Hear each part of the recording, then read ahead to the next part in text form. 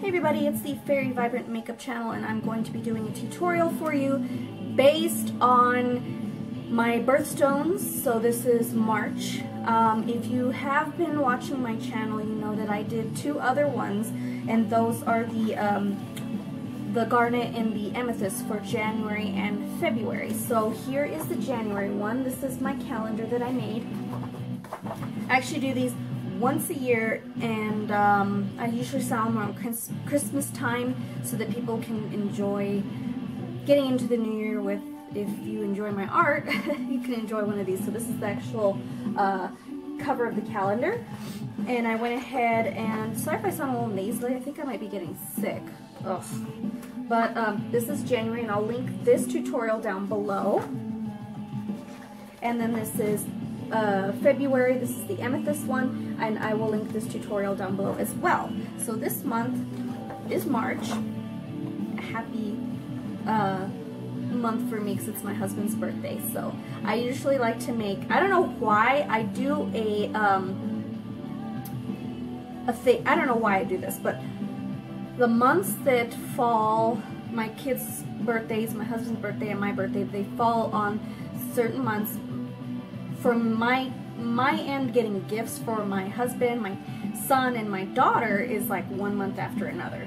My husband's uh, birthday is in March, my son's in April, and then my daughter is in May.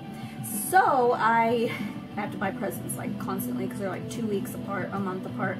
It's crazy. But anyways, um, I have this thing where I have to make March, April, and May absolutely perfect they must be perfect because they're for my family. So I'm like, they have to look their best. And I think I did a pretty good job on March. This is March. Uh, I had a difficult time actually with her hair. I'm not one to really, I mean, most of my paintings actually have dark colored hair. I don't know why, it's just easier to paint.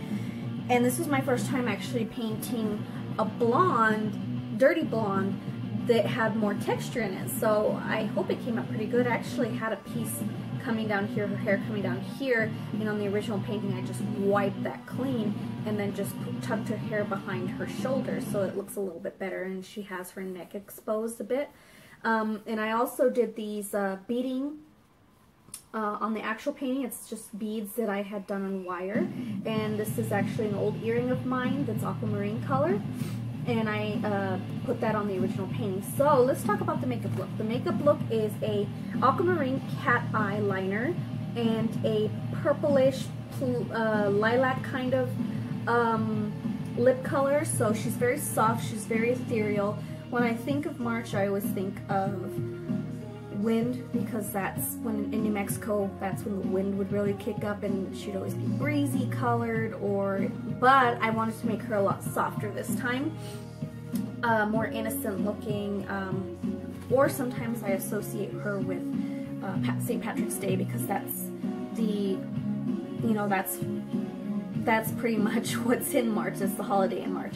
So anyways, let's get started on this tutorial. And if you do like seeing these tutorials, just stay tuned and subscribe, of course. Uh, once a month, I will be doing a birthstone um, until December, of course. And I'll try and do another batch the next year. That's if I can conjure up another calendar and see what's in that calendar and I'll probably do another calendar uh, once a month tutorial thing. So let's get started.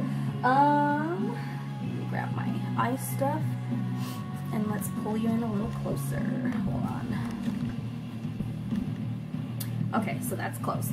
I'm gonna move my hair out of the way and I'm gonna start off with the Wet n Wild Fergie collection. This I bought at Walgreens for I think $1.79 because they were clearanced. So I don't think they sell these anymore. But this is a perfect one. It it broke a lot though, that's the thing, it's super soft. So I'm going to use this as my liner.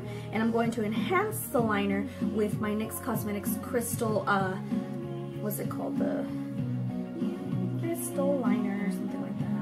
Crystal Aqua is the color and this is the liquid crystal liner. So let's get started on the base color, which is, of course, this one. So go on the outer corner of the eye and just create a diagonal line like so and then go back on the inner corner and just kind of drag that drag that all, all the way over here when you get to the corner just kind of connect it to the diagonal line and fill in any sparse areas. So it should look like that. To the other eye. And I have a nasty habit of not doing the eye exactly the same. Who does? I mean if you have talent to do that cool. I certainly don't. My steady hand has just gotten at it. I mean I used to be able to draw very fine lines onto my nails. I used to do like Chinese symbols and stuff um, on my nails when I was younger and I just can't do it. My hand shakes the whole time. So anyways, draw that diagonal line, go back from the inner lash line and then connect it to the diagonal line like so.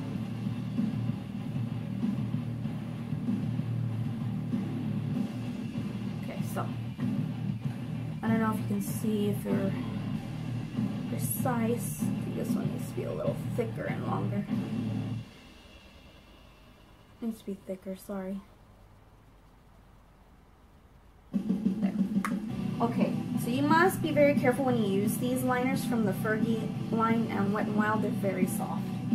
Okay, so let's go in with our crystal liquid liner from NYX, and this is the Crystal Aqua. You can get these at Ulta. They're only like $4.99 I believe. They're cheap. I have a bunch of them. So just go in on the inner corner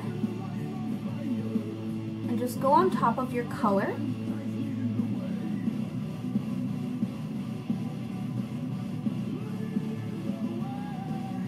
Just to kind of create that sparkly effect.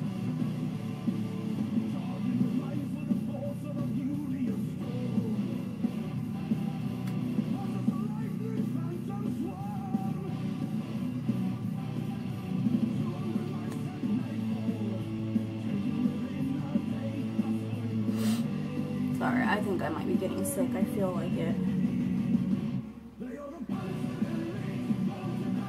It's this weather change here in, in Denver. It's crazy.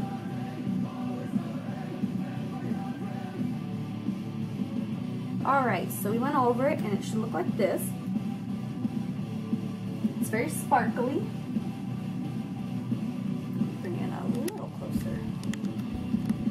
Sorry, still trying to work this camera. so as you can see, they're very sparkly. Um, I like that effect on it. So now I'm going to be doing my mascara, and I'm using the Avon um, Super, Ex Super Extend Extreme. It's a mouthful to say this. But I love my Avon mascaras. I used to sell it, like I always say, and I absolutely love it. I just love the brush. So go ahead and just start putting your mascara on. If you want to add fake lashes, go ahead. I just wanted to keep this natural and soft my lashes don't want to work today.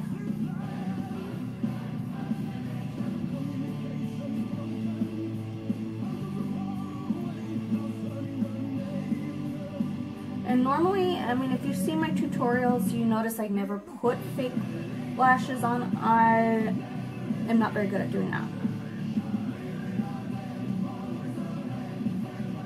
I don't know why, I just, I'm not very good at it.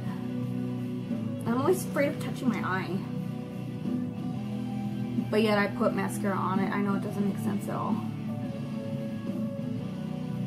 So I'm just putting my mascara on. Sorry, I had I had to redo this because my sound was all weird.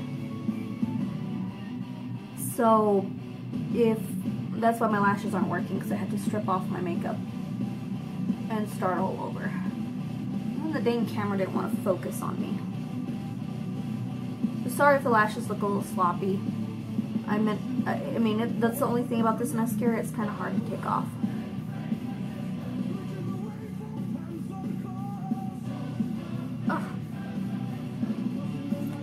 Does that look okay? You can see some sparse ones. I know this one looks a little sparse. Okay, so, probably need a spoolie to fix all this, but I'm too lazy to get it.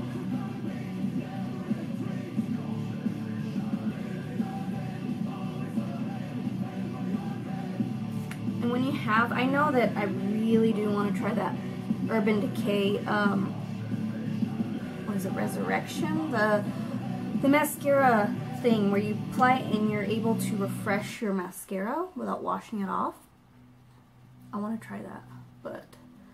I'm on a no spending If you know the enemy, on makeup thing you need not fear the result of a hundred. just so that I can, um, If you know yourself, but not I don't know, it's just a personal thing. I just don't feel like you will also getting more makeup.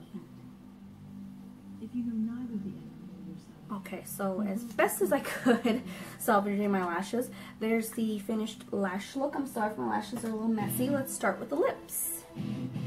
Okay, so now I'm going to use uh, the Milani Lip Flash in In a Flash. I don't think they sell these anymore, but you can use any kind of purple uh, magenta type liner or lipstick. I'm just lining them right now. Press it together. Then I'm going to pick up my macaroon lippies and I'm going to be using violet.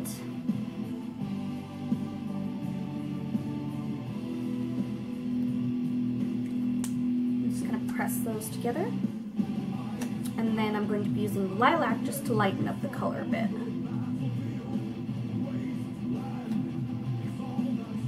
I'm just glad I get to use my macaroon lippies with this color.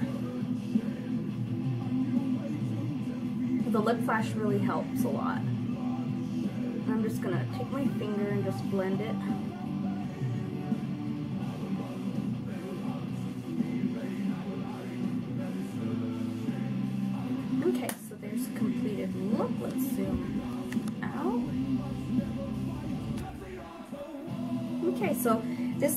Completed look. Um, I know it's a little intense for some people, but I think with the lips, it looks soft, and the eyes add that extra, you know, um, edge to it, and I wanted to be able to make this makeup wearable for those who really like bold makeup. So if you do like it, you could even substitute for like a mauve type lipstick if you don't want a purple lipstick. Just put a mauve uh, lipstick on and sparkly eyeliner and you're good to go. So if you do like these tutorials, I'm going to be doing them once a month and I'm also going to be um, doing a trendy Wednesday type video where I take kind of popular trends. I'm going to be doing, uh, in the month of March, I'm going to be doing um, just kind of like these soft um, eyeshadow colors, pastel eyeshadow colors, so that people can duplicate that and it's kind of like a trendy thing, you know, pastels, of course, for spring. So I'm hoping to uh, post those every Wednesday. And also this is going to be on a Friday, so if you do like these, I'm going to be doing my birthstone ones, makeup looks, uh, once a month in the first Friday of the month. So I will be doing this all the way to December, so um, I hope you guys like this. Give me a thumbs up and subscribe, please, because I'm new to this and I really want to show my makeup passion and I hope I can show you my skills and maybe even improve them and, and improve myself as a uh, makeup enthusiast. So I hope you have a good day and stay vibrant.